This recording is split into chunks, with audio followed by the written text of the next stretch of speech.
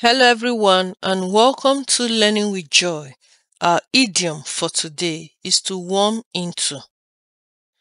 To worm yourself or your way into something means to gradually or sneakily gain access to a position, advantage, or someone's favor, often through flattery, deception, or persistence.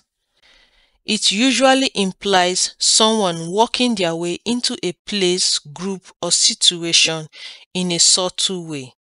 For instance, if someone is new to a company and they want to be part of a big project, they could start by talking to everyone, being friendly, and helping out wherever they could.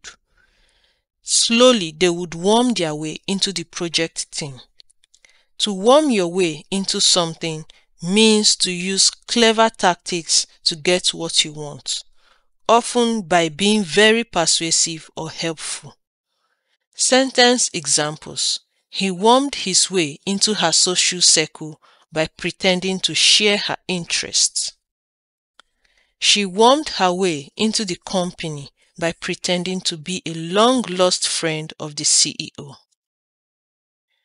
The con artist wormed his way into the old woman's trust and stole her savings.